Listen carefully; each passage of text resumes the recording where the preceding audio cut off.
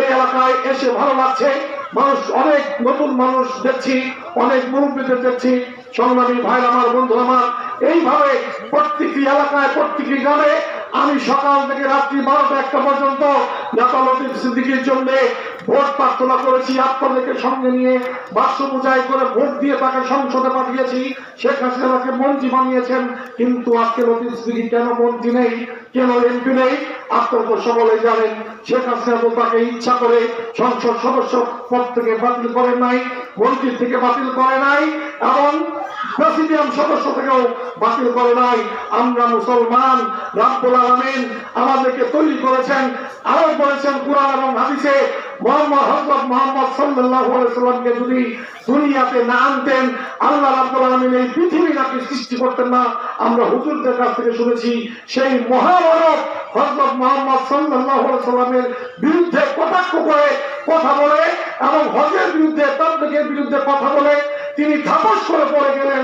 সারা বাংলাদেশ আলে মুলামারা মুসলমানরা মসজিদ থেকে বেরিয়ে রাস্তায় মিছিল করতে থাকল লতিফ সিদ্দিকীর পদত্যাগ চাইলেন, শেখ হাসিনার কাছে ডিমান্ড করলেন, দাবি করলেন শেখ হাসিনার আসন নর্মাল হয়ে যাওয়ার অবস্থা। ঠিক তেমনি অবস্থায় শেখ হাসিনা বাধ্য হয়ে লতিফ সিদ্দিকীকে মন্ত্রীর থেকে বহিষ্কার করলেন। প্রেসিডিয়াম সদস্য থেকে বহিষ্কার করলেন, আওয়ামী লীগের প্রাথমিক সদস্য পদ থেকে বহিষ্কার করলেন, এমপি থেকে বহিষ্কার করলেন। আমার তো কোনো দোষ নেই কালাতির কোনো মানুষের তো কোনো দোষ নেই, তার কৃতকর্ম কারণেই তিনি সব হারিয়েছেন। আজকে আমার ঘুরছে শেখ হাসিনার সঙ্গে বেইমানি করে, বিশ্বাসঘাতকতা করে। আমি আজকে শেখ হাসিনা আমাকে নৌকা দিয়েছে দুইবার। আপনারা আমাকে ভোট দিয়েছেন, সংসদ সদস্য দুইবার নির্বাচিত করেছেন। আগামী নির্বাচনে যদি আমি নৌকার বিরুদ্ধে দাঁড়াই, তাহলে শেখ হাসিনার বিরুদ্ধে দাঁড়ানো হবে না। শেখ হাসিনার বিরুদ্ধে দাঁড়ানো হবে না। শেখ হাসিনার বিরুদ্ধে দাঁড়ানো হবে। যেই লোকটাকে শেখ হাসিনা মন্ত্রী বানালেন, প্রেসিডিয়াম সদস্য বানালেন, সেই লোকটা শেখ হাসিনার বিরুদ্ধে যুদ্ধ ঘোষণা করলেন দুই হাজার আঠারো সালে। কি যুদ্ধ ঘোষণা? তিনি নৌকার বিরুদ্ধে, আওয়ামী লীগের বিরুদ্ধে, শেখ হাসিনার বিরুদ্ধে ট্রাক মার্কা নিয়ে এসে ভোটে দাঁড়ালেন। তিনি টিকতে পারেন নাই। নৌকার বিরুদ্ধে দাঁড়িয়ে আওয়ামী লীগের বিরুদ্ধে যে শেখ হাসিনার বিরুদ্ধে গিয়ে টিকতে পারে নাই ডক্টর কামাল হোসেন থেকে অনেক বাঘা বাঘা নেতা আমরা বাংলাদেশে দেখেছি। ফিরতে পারে নাই। এটা বঙ্গবন্ধুর দল। বঙ্গবন্ধু রক্তের সঙ্গে যারা বেইমানি এবং বিশ্বাসঘাতকতা করেছে, তারা পাগল হয়ে গিয়েছে। অন্যথায় রাজনীতি থেকে ছিটকে পড়ে গিয়েছে। রাজনীতিতে তারা টিকতে পারে নাই। অতএব আমি বলতে চাই, আগামী জানুয়ারিতে যে নির্বাচন হবে, সেই নির্বাচনে আপনার এলাকার মানুষ নৌকায় দিয়ে অভ্যস্ত। এলাকার মানুষ কোনদিন নৌকার বাইরে ভোট দেন নাই। আগামী দিনেও নৌকায় বাইরে ভোট দেবেন না। এই আউলাবাদের মানুষ, নাগবাড়ি পার্টির মানুষ, এই বীর বাসিন্দার মানুষ, বঙ্গবন্ধু রক্তের সঙ্গে কোনোদিন বেইমানি এবং বিশ্বাসঘাতকতা করে নাই। আমি বিশ্বাস করি কোনোদিন আউলিয়াবাদ আমাদের নাগবাড়ি বীর বাসিন্দা পার্টি এলাকার মানুষ, বঙ্গবন্ধু রক্তের সঙ্গে কেউ কোনোদিন বেইমানি এবং বিশ্বাসঘাতকতা করতে পারে না করবেন আমি বিশ্বাস করি।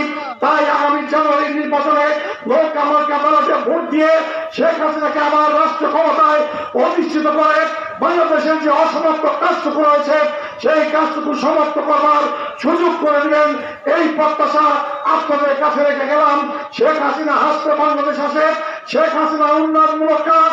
এই বাংলাদেশে করে আপনারা দেখেছেন, দুই হাজার এক সালে প্রশাসন নির্বাচনে আমাদেরকে হারিয়ে দেওয়া হয়েছিল। তারপরে আপনার বাড়ির কাছে যে কমিউনিটি ক্লিনিক করে দিয়েছে শেখ হাসিনা সেই কমিউনিটি ক্লিনিকে বত্রিশ ধরনের ওষুধ বিনামূল্যে আপনারা পেয়ে থাকেন। খালেদা জিয়া ওই সাধারণ সিরাজগঞ্জ নির্বাচিত হওয়ার পরে সেই বাংলাদেশের চুয়ান্ন হাজার আমাদের কমিউনিটি ক্লিনিককে বন্ধ করে দিয়েছিল। তাই বলতে চাই, আমরা এই কমিউনিটি ক্লিনিক বন্ধ হোক, এটা আমরা চাই না।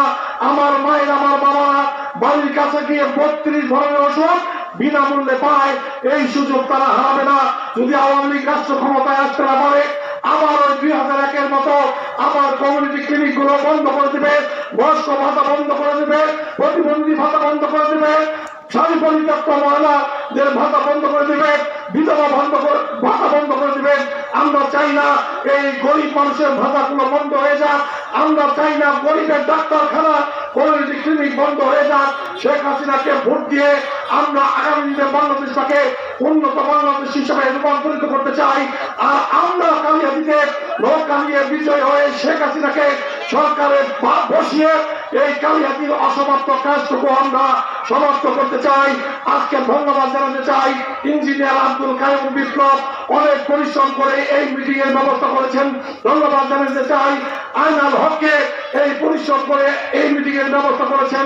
ধন্যবাদ জানাই পার্টি দলের সভাপতি লতিফ তালুকদার, সাধারণ সম্পাদক আব্দুল্লাহকে আমরা ধন্যবাদ জানাতে চাই সংগ্রামী ভাই আমার বন্ধু আমার।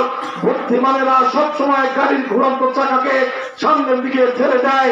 আর বোকা যারা, তারা গাড়ির চলন্ত থামিয়ে দিতে চায়।